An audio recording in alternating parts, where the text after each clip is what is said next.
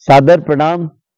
आज हम सब विश्व वसुधा की गोद में, माँ वसुंधरा की गोद में, आज पर्यावरण दिवस का स्वर्ण जयंती मना रहे हैं। उन्नीस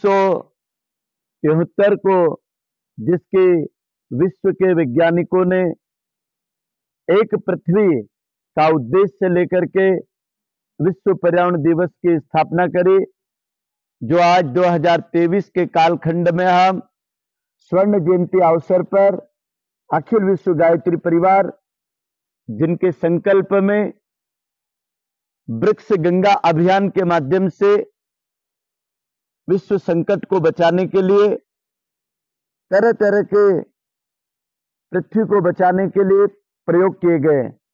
वृक्षों का रोपण, जल संरक्षण, स्वच्छता, पशु पक्षी प्राणियों की रक्षा नई रचनात्मक दिशा देना। इसी के साथ में हमारा वृक्ष गंगा अभियान पर्वत पहाड़ों पर विभिन्न प्रकार के प्रयोग करता है। गायत्री धाम, एबी रोड, सेंधवा में अद्भुत प्रयोग किए गए। इन उनतीस साल के प्रयोगों में विशेष करके पाँच बड़ पीपल नीम की त्रिवणिया, जिनके माध्यम से सभी जाति, पंथ, वर्ग, संप्रदाय के परिजनों से रोपित कराया गया और उन्हीं के पैसे से गड्ढा, ड्रिप लाइन पाइपलाइन और मेड़बंदी और संरक्षण का क्रम पूरा हुआ। मॉल श्री तीन जिसके माध्यम से पर्यावरण को सदा हरित क्रांति की चुनर उड़ाई। लुप्त प्रजाति अंजन का वृक्ष, जो जल संरक्षण करता है, ज़मीन में गिरने के बाद भी लोहे की तरह मज़बूत वृक्ष बनता है, जिसको पानी गला नहीं सकता है। ऐसे अंजन की प्रजाति लुप्त हो रही थी, जिसकी पत्तियाँ गाय बकरी खाती है, जिसका दूध पौष्टिक बनता है।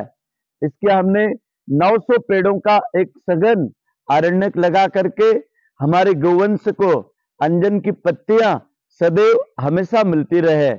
इसी के साथ में यहाँ पर बहुत ही सुंदर तरु कुंजों का निर्माण किया। जहाँ पर सत्तावीस प्रकार की औषधि के विशेष तरुओं का रोपण, जिसकी छत्र छाया में साधक गण, तप, ध्यान, आरोग्य प्राणायाम की क्रियाएँ करते हैं।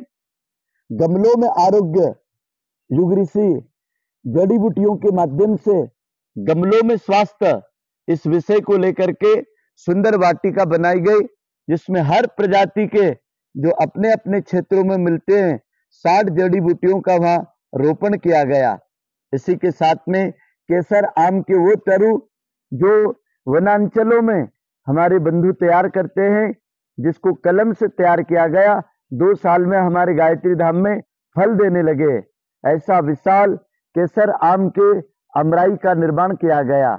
इस तपोभूमि में 300 से अधिक प्रजाति की छोटी बड़ी घास, कंद, मूल, पेड़, पौधे, लताएँ, जिनकी सुंदर छटाएँ पाँच प्रकार की तुलसी, कपूर तुलसी, राम तुलसी मुरुआ तुलसी, गौरी तुलसी, कृष्ण, इन तुलसी के बीच में साधक प्राणायाम करते हैं।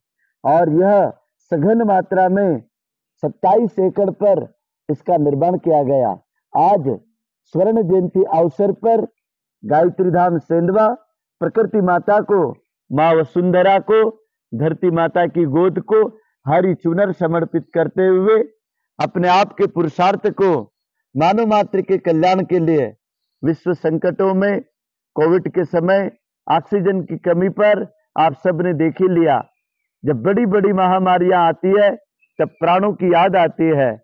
जब वर्षा नहीं होती है, पेड़ों की याद आती है। भीषण लपट और गर्मी में पेड़ों की याद आती है। जिसे आप मामूली सा वृक्ष समझते हैं, यह ऋषि है यह देव है, ये सबका मित्र है। और विश्व मानवता के कल्याण के लिए जिनका होना हम सबके जीवन के लिए आवश्यक नहीं, अनिवार्य है।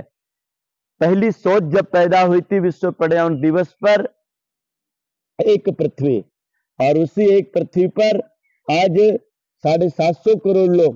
भाइयों बहनों, यदि भारत की कहें तो 140 करोड़ लोगों के लिए प्रति व्यक्ति न्यूनतम सात पेड़ ज़रूर धरती पे होना चाहिए, पर अपने जीवन का प्राण खुद का होना चाहिए। मरण उपरांत जलने के लिए, ऊर्जा के लिए लकड़ी खुद की होना चाहिए। अखिल विश्व गायत्री परिवार, वृक्ष गंगा अभियान आह्वान करता है। युग ऋषि ने आह्वान किया है, अखंड अग्नि, अखंड दीपक, अखंड ज्योति परमंदनीय माता जी के सौ साल पूरे होने पर शताब्दी समारोह के निमित्त हम लोग करोड़ों करोड़ों वृक्षों को इस धरती पर पल्लवित, पुष्पित, फलित होते देखना चाहते हैं। आपका भी प्रयास इस कदम के साथ जुड़े। अखिल विश्व गायत्री परिवार के इस अभियान में आप सबको आह्वान है। ओम शांति शांति शांति।